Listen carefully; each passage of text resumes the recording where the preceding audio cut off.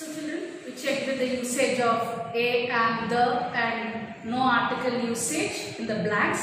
Now we have few sentences. They are incorrect and a wrong article is placed in them. We will correct them and learn how to place an article based on its usage.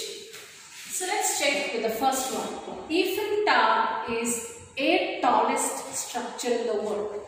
So here first I will identified no. So here A is wrong. What will you be using? An or no article? We will be using the. Why the?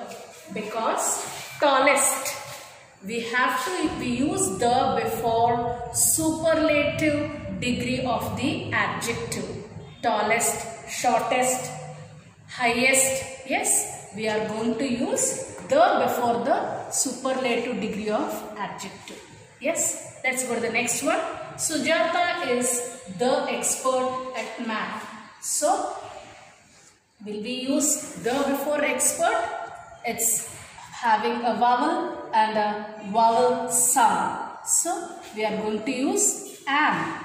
Sujata is an expert at math. See the third one. Uma plays the badminton well. So here the is the article. Now can we use the before badminton or will you use a because you think that B is a consonant it is having a consonant and consonant sound. Uma plays a badminton well? No. We are not going to use any article.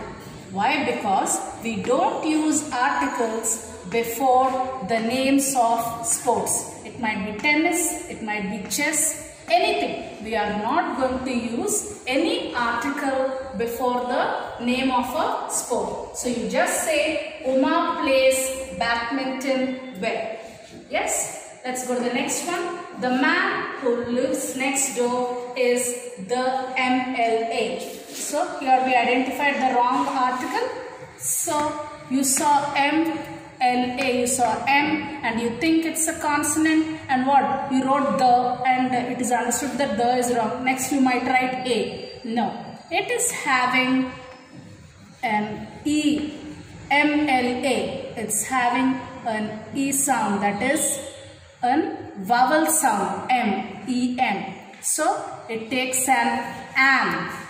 The man who lives next door is an M-L-A. Yes? So whenever there are abbreviations like this, you please check carefully and then place the article. The next one, and Indians are God-fearing people.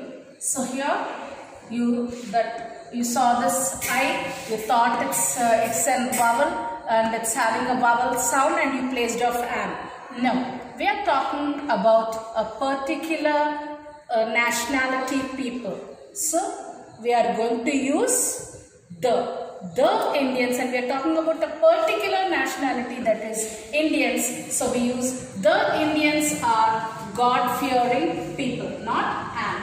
Yes children, I hope you understood the usage of articles, the indefinite articles a and an and the definite article the and where to use, I mean where you don't use that is a zero article in the sentence uh, you might be getting blanks uh, MCQ you check uh, your uh, question paper previous question paper you will have better idea.